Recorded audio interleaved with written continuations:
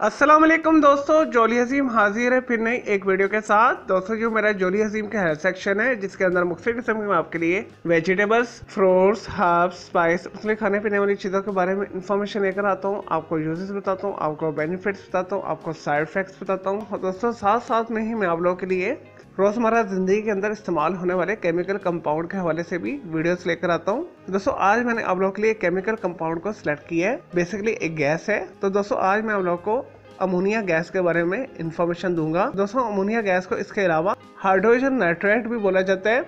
इसके अलावा hydrogen amine भी बोला जाता है। और दोस्तों, इसका जो chemical formula N H three है। और दोस्तों, इसके अंदर नाइट्रोजन आंसर की हाइड्रोजन आंसर के साथ ट्राई बॉन्डिंग होती है।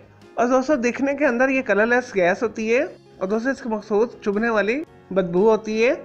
और दोस्तों, पानी के अंदर हल पजीर है। दोस्तों, अगर इसे एटमॉस्फेरिक प्रेशर के ऊपर कंप्रेस किया जाए, और दोस्तों, ये कलरलेस लिक्विड के अंदर आ जाती है। दोस्तों, इसे रोज़मर्रा ज़िंदगी के अंदर बहुत सारे इस्तेमाल आते हैं। और दोस्तों, अमोनिया नाइट्रोजन ही मरकब होने की वजह से और दोस्तों फ़सलों की नशोनुमा के लिए बेहतरीन है। फर्टिलाइज़र के तौर पर काम करती है। इसके अलावा इसे यूरिया खाद बनाने के लिए भी इस्तेमाल किया जाता है। इसे बहुत सारी जो है साफ़ सुथराई करने वाली प्रोडक्ट्स बनाई जाती है। और दोस्तों कूलिंग एजेंट के तौर पर भी काम करती है। इस वजह से इसे रेफ्रिजरेशन गैस के तौर पर भी यूज़ किया जाता है। और दोस्तों, इसके अलावा प्लास्टिक प्रोडक्ट्स बनाने के लिए भी प्लास्टिक सनत के अंदर इसे इस्तेमाल किया जाता है। इसके अलावा धमाका खेस बम, धमाके वगैरह एक्सप्लोसिव मटेरियल बनाने के लिए भी इसे इस्तेमाल किया जाता है।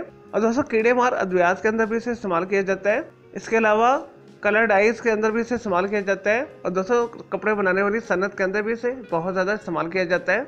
चलो दोस्तों, ये तो से अमोनिया एन एच थ्री के बारे में थोड़ी सी इन्फॉर्मेशन यूजेस बेनिफिट सब आ जाते हैं इसके साइड इफेक्ट्स की तरफ़। और दोस्तों, अमोनिया गैस जो है, एक जहरीली गैस है, इस वजह से जब भी आप इसे इस्तेमाल करें तो नाक को लपेट लें और दोस्तों, हाथों में ग्लाव इस्तेमाल करें। इसके अलावा आँखों के ऊपर चश्मा डालें। अगर आप इसके माहौल में बहुत ज़्यादा रहते हैं तो ये आपकी आँखों के अंदर जलन पैदा कर सकती है। और दोस्तों, अमोनिया गैस के वेपर्स के अंदर मुसलसल रहने से आप अंधे भी हो सकते हैं। नाक की एलर्जी भी ये पैदा करती है। गले को ख़राब भी करती है, सांस लेने वाली जितनी भी बीमारियाँ इससे लाक हो सकती हैं, फेफड़ों को ये ख़राब करती है। उसे से इनहेल करने से बहुत ज़्यादा मकदार में आपकी मौत भी वाक़ हो सकती है। इस वजह से अमोनिया गैस को बहुत ज़्यादा एहतियात के साथ इस्तेमाल करें।